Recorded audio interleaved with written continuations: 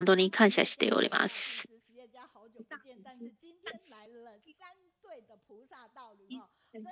次は、ランさんが、あの、毎回の勉強会で、その絵を描い、絵を描いてくれて、本当にありがとうございます。次の方は、その、要、実業家と、その精神、精神翻訳との出会いのスピーチです。まずは、ビデオをご覧ください。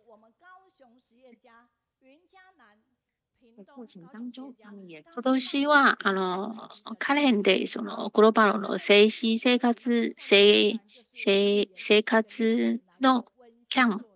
キャンプを行っていました。現在、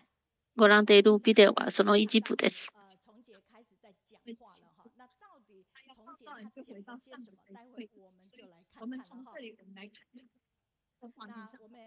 そして、あの、その時、各その企業家がもし承認様と報告するとき、このミーティングに入っています。洪崇杰身体力行，带动更多实业家投入。这么好的理解之下，就促成了我们这一次第。上課のそのフィードバックです。今年はせっかくのチャンスで私たち全員であのこのあの精神生活のキャンプを参加します。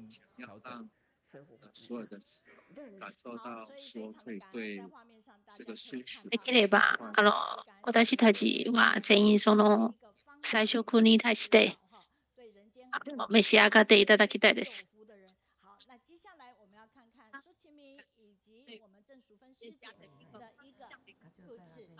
そして、商人様もその各企業家にいろいろなそういう勉強な言葉を差し上げます。次はもう一人のその起業家の物語です。彼はそのオーストラリアへ20年ぐらい移民しました。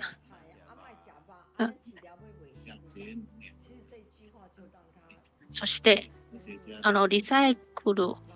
とその省エネでいろいろな科学家からの証明を出して、やっぱりそのリサイクルをやらなければなりません。そして、宋さんは、あの商人様のそういう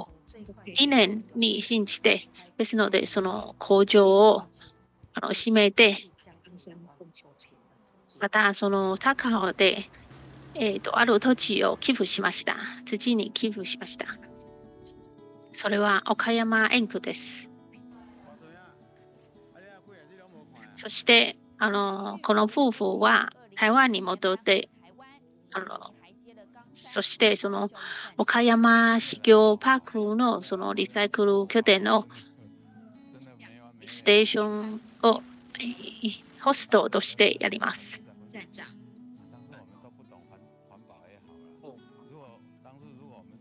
本当にそのリサイクルをやり始めてから、あのやりきれないほど、山のほどそのいっぱいの仕事が多くて、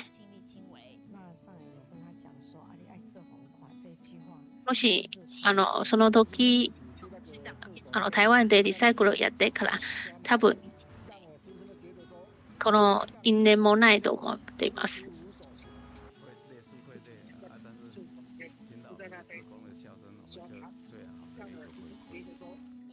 そう、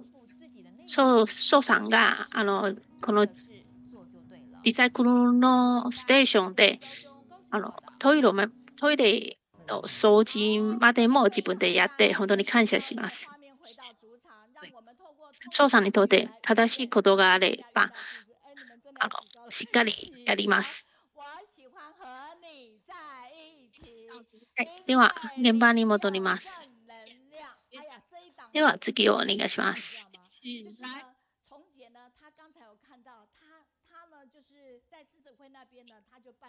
つもの合言葉で、えー、高尾の起業家の皆さんをお迎えしましょう。今日お越しの、えー、高尾の高尾に滞在している技術高尾を起点に活躍していらっしゃる実業家の皆さんです。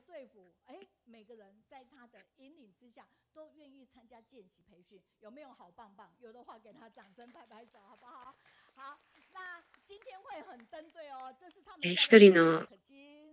ご夫婦の起業家の方が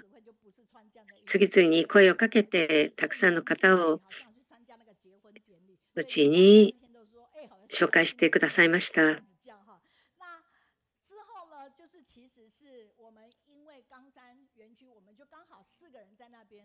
皆さんの集まりは本当に、えー、服装もきちんとしていたので、まるで結婚式に参加しているようでやそうだったそうです。えー、宋先生、この方が宋先生です。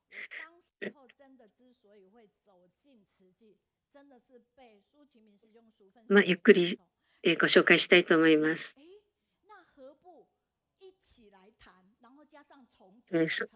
蘇先生は、えー、蘇先生と劉先生、あ蘇先生と鄭先鄭さんというご夫婦に、うちを紹介してもらったことがきっかけだったそうです。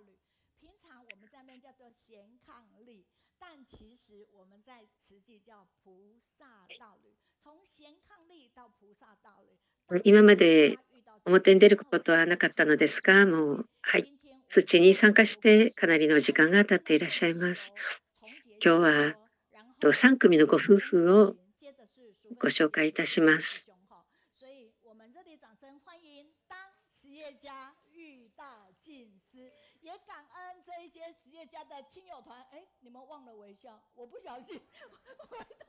では、実業家が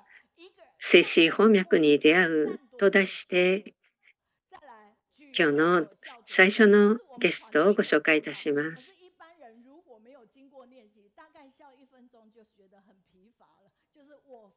私たち高オンライン勉強会では話せば皆様が笑顔になりであの後ろでこのように盛り上げてくださっている、えパネルの上げてくださ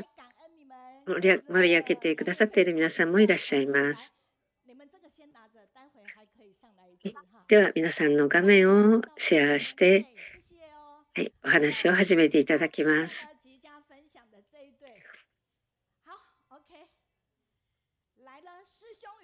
では最初にお話しいただくのは、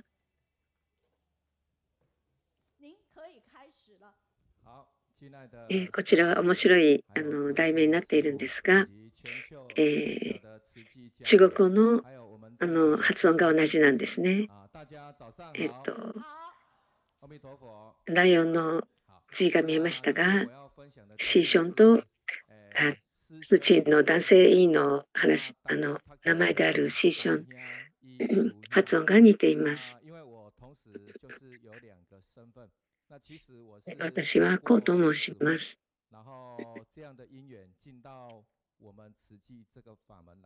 私はその時、ミオンズクラブにも在籍していました。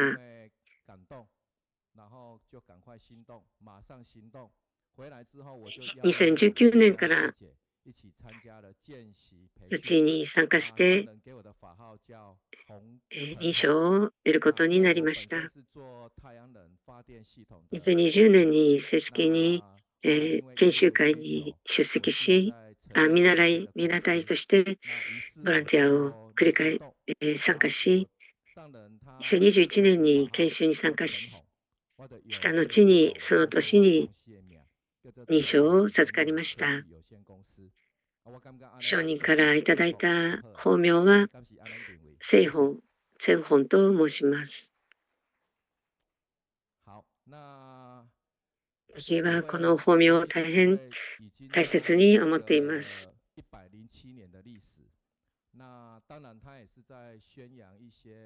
もう一つのライオンズクラブでの活動ですが、まライオンズクラブは107年の歴史が台湾でもございます。そちらの方でもたくさんの、えー、事前に関するボランティアをしております。同じように、えー、寄付をしたり、ボランティア活動をしたりしていました。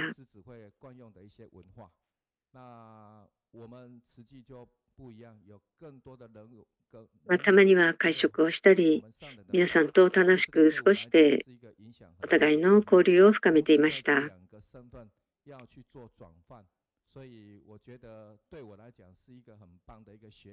だから土ではそれに加えて上人様から、えー、仏教というものを教えてもらうことができました。それがとても私の心を打ったのです。私が土の、えーえー、自制委員として参加し、その活動に、えー、深く関わることになりました。その活動を通じて、まあ、仏法による喜びというものを心にとても大きく感じるようになりました。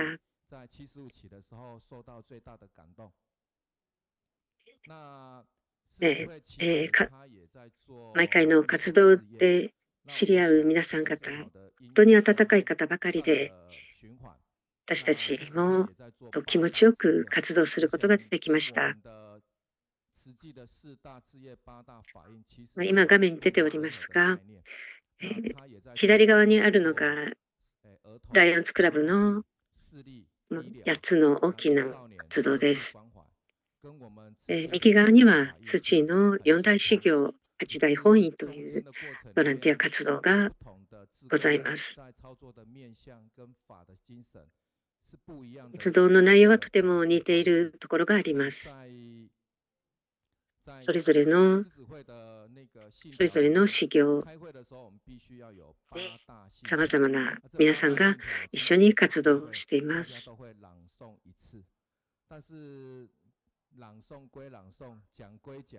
日本ズクラブで会議をするときには、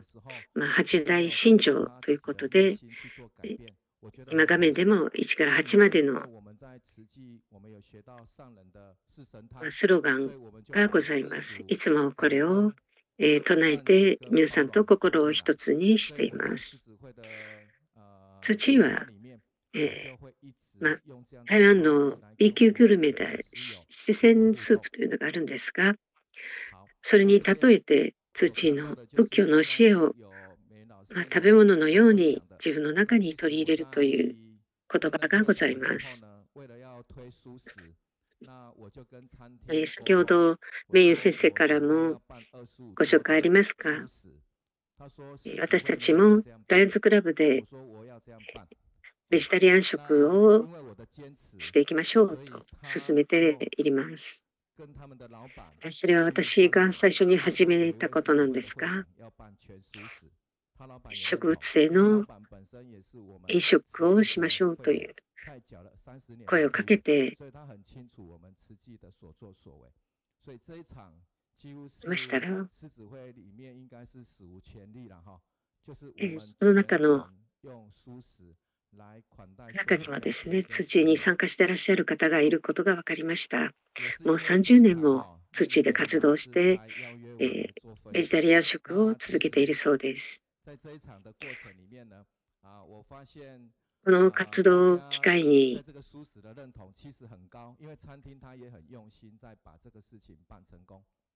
ライゾンズクラブでも、えー、たくさんの初めて最初、えー、ベジタリアン食に接する方もいらっしゃったので、えー、とても有意義なイベントとなりました。で今年の4月3日にカレンで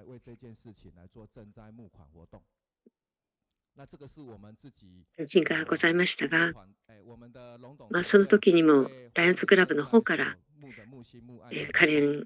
カレン券を支援したいということで募金活動を行いました。で同時に土の方でも募金活動に参加しました。他にも、えー、こちらはライオンズクラブの方の献血イベントでの様子です。えー、同時に土では、えー、骨髄バンクのドナーの呼びかけもしています。こ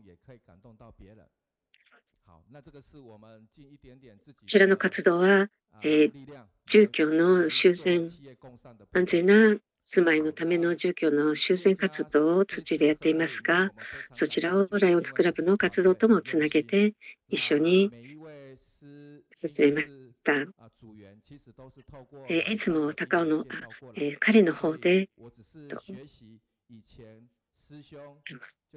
総括キャンプといいますか、実業家を対象にしたセミナーを開いているのですが、そちらのお手伝いもしています。セミナーに必要なもの、あるいは、えー、贈り物など、土の方で準備しています。私もこの人間の持っている力は磁石のように、えー、とても強いものだという教えを信じています。どうもありがとうございました。では次の方にバトンタッチいたします。次は、えー、宋先生ご夫妻です。はい、皆さんこんにちは。私はそうチンファーと言います。私は、えー、伴侶の修霊です。あの香港のスターでチョルンファというスターがおりますが、えー、まあね、名前が似ていることからファニーさんと私は呼ばれたりしています。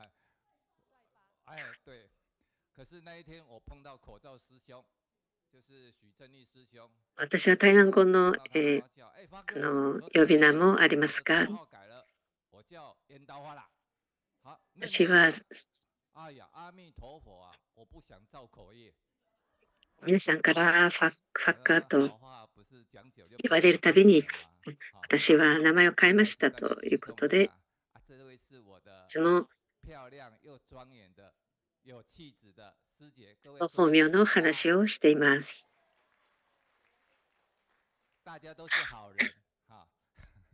こちらは修霊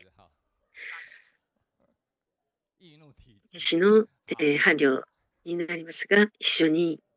土に参加しています。まあ、本当にあのおしとやかで、えー、魅力魅力あふれる、えー、スチエです。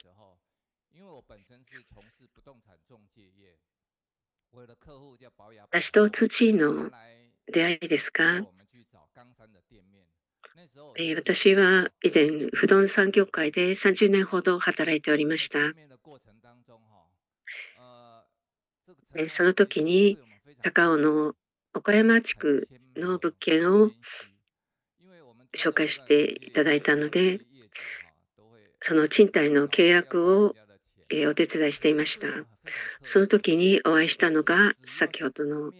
これからお話をしていただく蘇さんとテイさんのご夫妻です。蘇さんもテイさんもとてもあの謙遜している方でおお二人は契約は10分で終わったのですがそれからずっと土の話を私にしてくれたのです。え契約が終わって1時間ほど経ったでしょうか。本当に興味深い話でした。すっかり私は聞き入ってしまいました。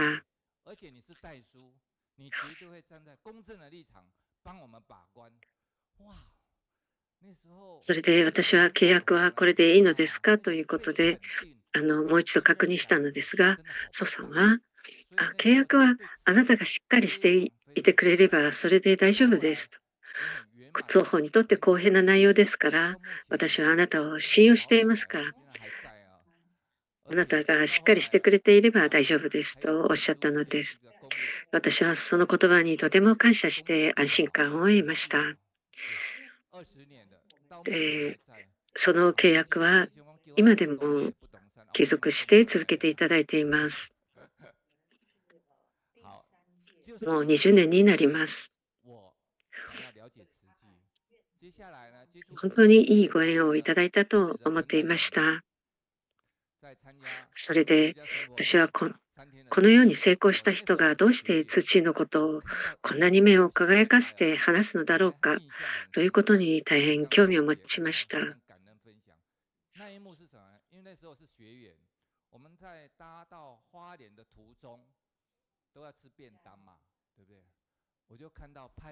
え私はそれから土はもっと、え知りたいということで研修にも参加することにしました。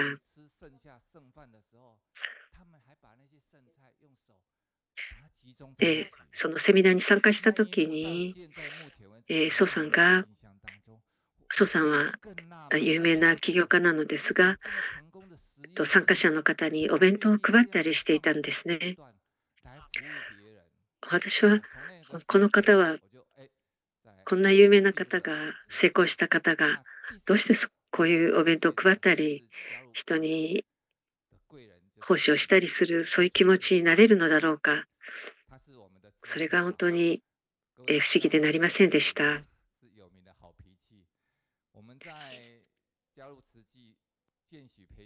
私たちにずっと付き添ってくださった、えー、修潤スーチェ捜査の奥さんですが、その方が、うん、私の寄付を受け取りに来てくれたときに、从他到现在，我都没有看过他发过脾气。速度我要加快，最后いつも私たちが愚痴をこばしてものいつも笑って受け入れてくれていました。本当に年配のベテランボランティアの皆さんが私たちを引き入れてくださったことで土の理解を深め私は気持ちよくボランティアの活動に参加することができたんです。まあ、今でも喧嘩はつあるのですよ、時々です。まあ、奥様がおっしゃっています。あのその喧嘩というのは喧嘩ではなくて、私が一言言うと、えー、私の、えー、数値はですね、あの10個の返事をしてくれるんですね。ですから私たちはいつも円満に過ごしています。本当に上人様がこのような道場を開いてくださり、そして仏教がどういうものか、その教えを知ることができ、そして人の縁というものが本当に大切なもので、楽しみも喜びももたらしてくれるものだということを学ぶことができました。本当に感謝しています。ご清聴ありがとうございました。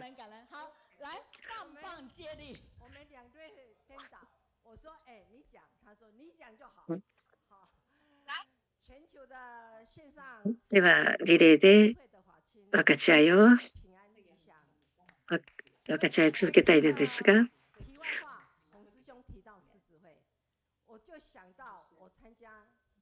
世界中でオンラインでお聞きの皆様、こんにちは。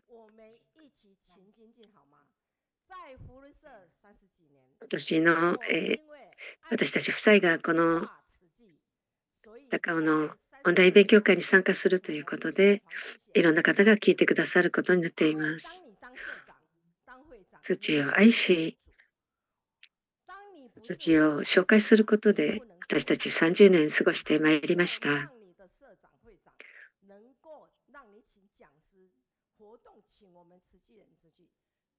起業家になって成功しても、社長となっても、会長となっても、人気がございますから、それができなくなれば、ただの人になってしまいます。ですから私は土に入って、まあ、いつまでも自分のやりたいことを自分自身で進めていくことができるということが分かりました。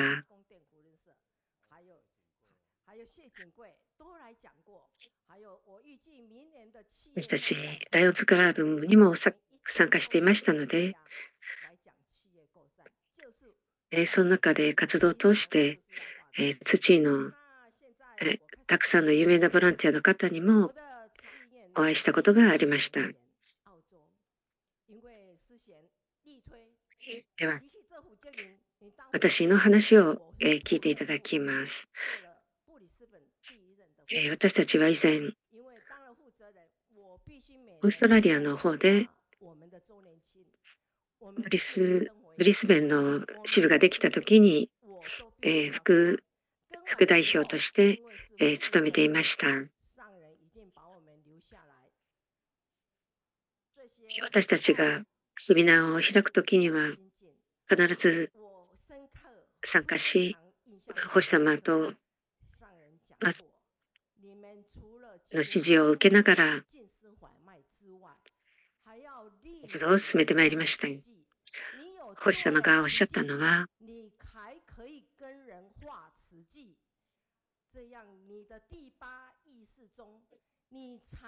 金を集め、寄付をして、宇宙に奉仕すること、それに加えて、通知用を広めて、この喜びをたくさんの人に伝えていくこと、それをしてください。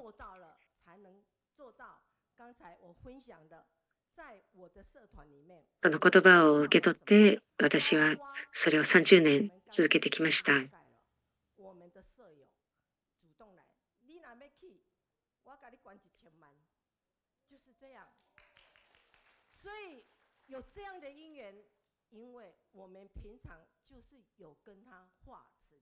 え私の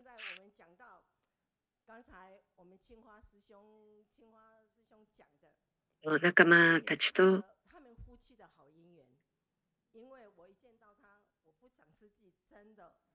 いつも話をしながら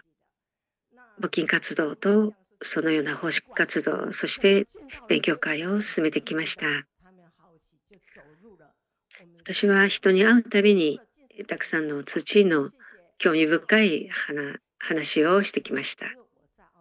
ですから先ほどの話のように、えー、初めて会った人にも土のことを紹介してきたんです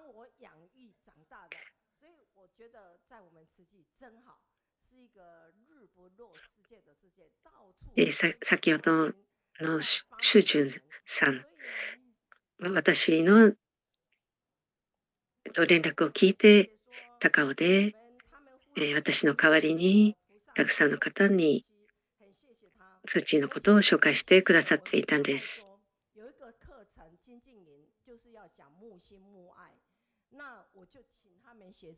うん、この高尾で知り合った実業家の皆さんが私たちに、え心を開いてくださりそして一緒に通知の活動に参加してくださるようになって本当に感謝しています。私は心にある皆さんの愛の心をどうぞ表してくださいということでいつも募金を呼びかけています。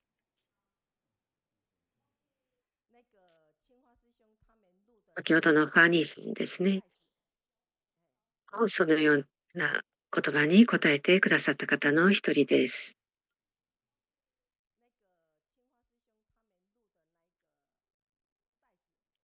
今、同じ画面が繰り返されていますので、ちょっと調整をお願いしていますが、どうでしょうか？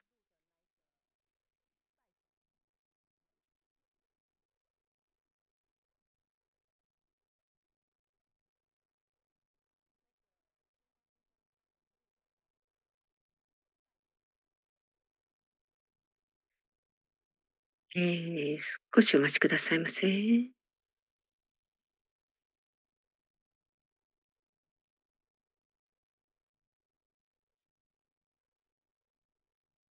え、これ今の画面は、え、高尾の、ま、岡山市業パークというところを、え、作る時に、え、土地を寄付した様子、して建てる時の様子を、えニュースになった画面です。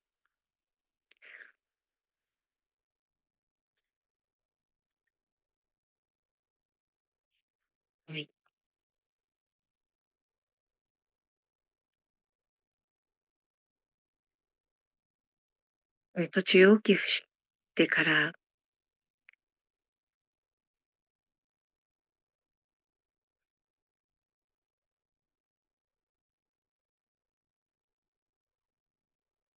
え、そうですね、オーストラリアで、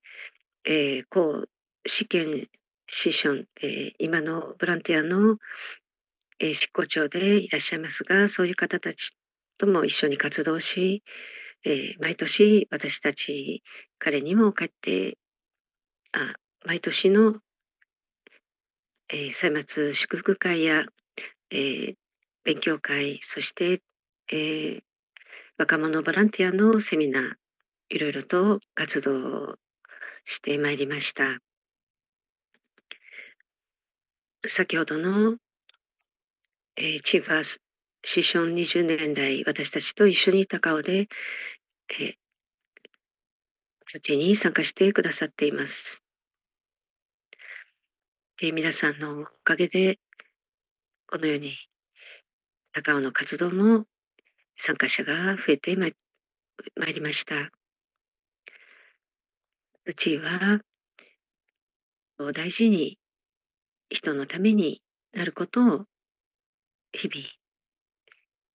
活動しています。昼夜を問わず、土の世界は、え、いつも回り続けています。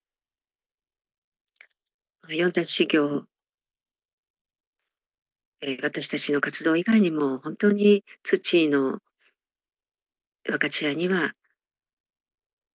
なしきれないほどのたくさんの感動を呼ぶ物語がございます。え、敬愛するえ師匠スチェの皆さん。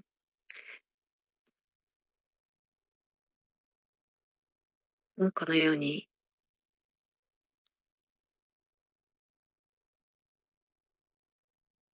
今まで私たちと一緒に活動を連れてくだしてくださっているのでえ、募金をたくさんすればた以上の喜びがあり、それが私たちの心の心が豊かになってまいります。それはお金では買えない、え、喜びであり私の財産になっています。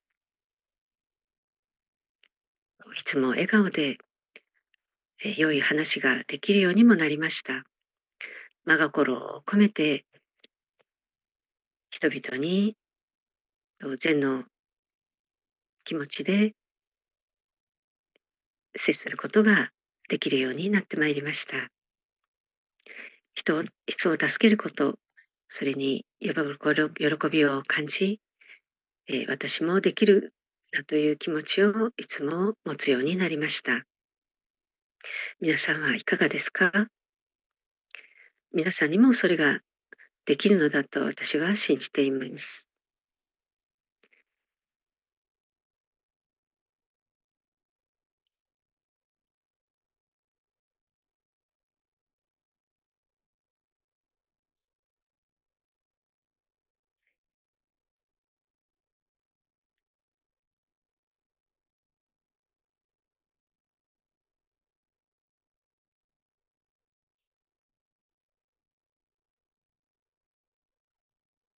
少々お待ちください。なんか画面がえ、ずっと同じ画面が続いていますでしょうか？え、ご覧の皆様、ちょっと今日は、え、音と画面がですね一致していない部分もありまして、見苦しいところをお見せしていますが、今調整していますので、え、少しお待ちくださいませ。